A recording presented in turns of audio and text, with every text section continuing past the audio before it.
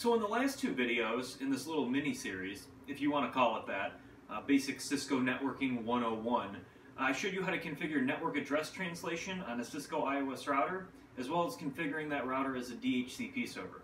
In this third and final video, I'm going to show you how to configure that router as a zone-based firewall, which will kind of wrap everything up and complete the whole picture. So first, we're going to take a look at the topology, and then I'm going to fire up the equipment and show you how to get it configured.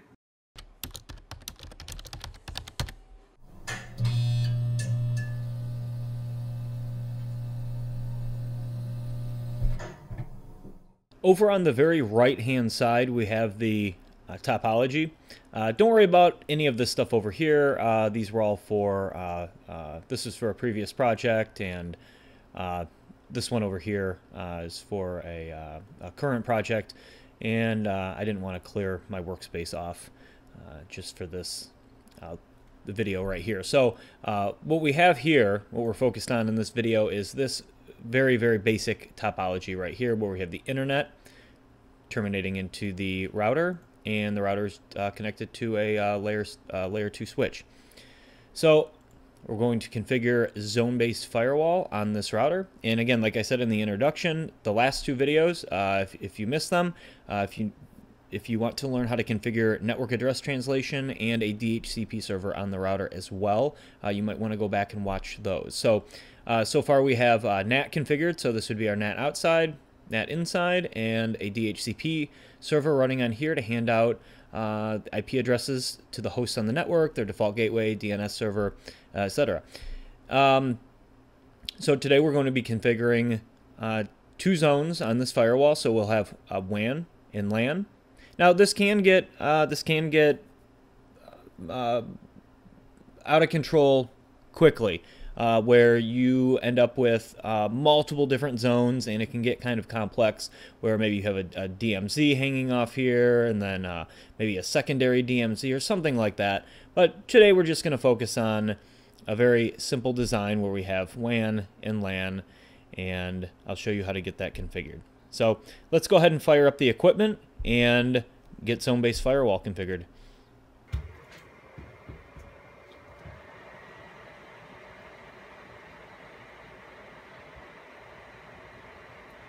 Okay, so here's the router we're going to be using. Uh, just one of the uh, Cisco 1841s. And we have the internet, so the internet coming in here into uh, Fast Ethernet uh, 0 slash 1. And then uh, Fast Ethernet uh, 0 slash 0 as our LAN interface.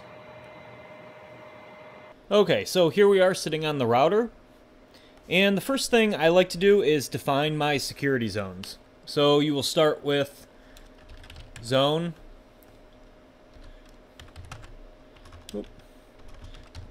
zone security, and then we'll go zone security WAN,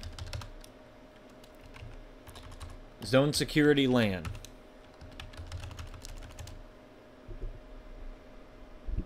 Okay, now the next step is to classify the traffic. So uh, you can do this a few different ways. You could create an access uh, an access control list and plug it into your class map, or you can uh, just uh, simply create a uh, class map defining your protocols. Uh, what I like to do is I like to go uh, the, the, route where you create an access list uh, defining um, certain things and then um, also make a class map uh, where you define your protocols and then combine the access list and that uh, other class map into a new class map. we're just going to keep it really simple and we're just going to do class map type inspect and actually, we want to go match any, since I believe it's match all by default. So that would that would mess this up uh, in this example. So class map type inspect match any, and we're going to name it LAN to WAN. And then here's where if you had an access list you wanted to match, you could go match access group name and then the name of your access list. But like I said, in here we're just going to keep it simple and match some protocols. So we'll go uh, match uh, HTTP. Oop, we're going to go match protocol.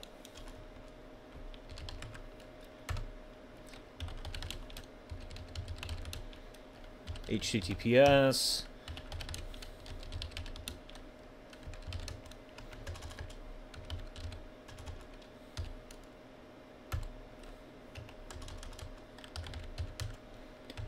And then at the end, we'll uh, do uh, TCP and UDP.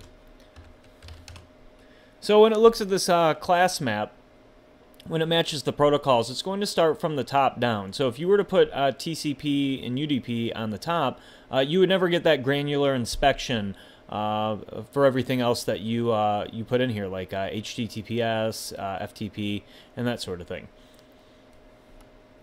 All right, so that's it. So we've matched the protocols that we want to have inspected. So we'll do a, a do show run class map. Just kind of look at that. So here we go. Uh, again, class map, type inspect, match any, and then we did LAN to WAN, and then we matched HTTP, HTTPS, FTP, SMTP, ICMP, and then TCP and UDP. So now we have these uh, protocols uh, um, thrown into this class map. So now we need to create a policy map to say this is what we want done with these, which is going to be inspect. So that way that return traffic will be allowed back in uh, from the internet.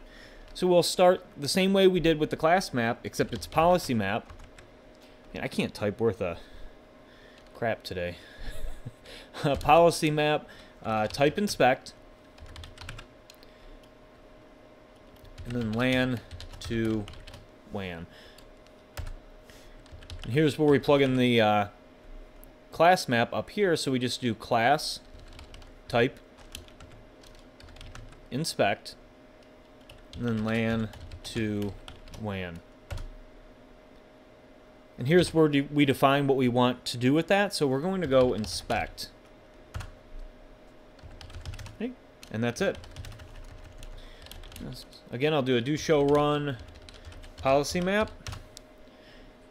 And there it is. Policy map, type inspect, LAN to WAN, class type inspect, LAN to WAN. So that's where we plug in that uh, class map. Now, sometimes what I'll do is I'll put uh, on a policy map, I'll put a dash uh, P map on a class map, a dash C map. It's really up to you, your, your uh, naming convention.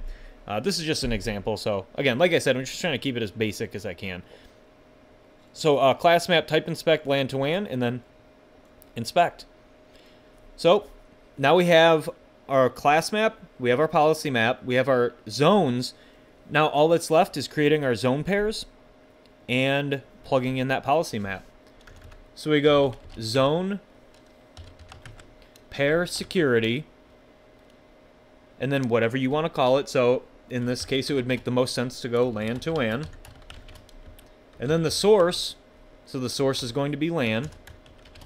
Now remember, this this will match up to the uh, the security zones that you named. So if you didn't name your LAN LAN, you would want to put what whatever you named uh, that right here. So in this case, we named it LAN, so the source is LAN. And then the destination WAN.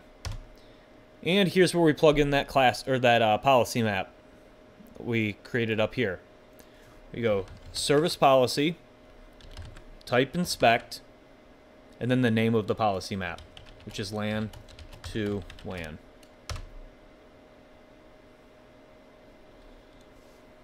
Okay. And then the final step is to define the security zones. So like I said, on the uh, topology diagram we looked at, our uh, internet is on fast ethernet 0 slash 1. So we just go zone member security, WAN. And then on the LAN side, which is fast ethernet 0 slash 0, zone member security, LAN. And there you go. That is as simple as it gets. So in a very basic network, that's really all you need to do. I mean, actually, in a really basic network, you could use uh, CBAC. Uh, I didn't choose to cover uh, CBAC or context-based access control, I believe. Uh, I don't really like CBAC, but I deal with a lot of I, I deal with scenarios where there are a bunch of different security zones that require different policies and whatnot. And CBAC is more of a, a per interface uh, type of thing, and uh, I believe that it has been uh, superseded by the zone-based firewall anyways. So, um, let's see, what was I gonna say? Um, yeah, you could even you could even make it super simple and just match TCP and UDP as well in your class map. I mean, if you just wanted a very, very the most basic firewall possible, um, you could do that. Uh, I match individual protocols because I really want that layer 7 inspection. Um, you know, at the application layer. Uh, certain certain protocols like uh, FTP, for example, you're you're not going to get. Um, you could have some issues if you don't match it specifically, and I'm not going to get into all the ins and outs of that right now. Uh, it's not what this video is about, but just saying for a very basic firewall, you could probably get away with just matching TCP and UDP. And that's all thank you for watching this video. Like I said, this wraps up the uh, this little mini uh, mini series at uh, Basic Cisco Networking 101 uh, for just a very very basic network with Cisco equipment. So if you did like the video, uh, please hit the thumbs uh, the thumbs up button. if you dislike the video, you can hit the thumbs down. And if you have any questions, feel free to reach out, and I'd be more than happy to help out as much as I'm able to. So you can leave a comment in the comment section, or you can email me at rob at rmtechcentral.com. And uh, that's pretty much it. Oh, and if you're not subscribed, uh, please subscribe to my channel. So, till next time, I'll see you in the next video. Thanks for watching.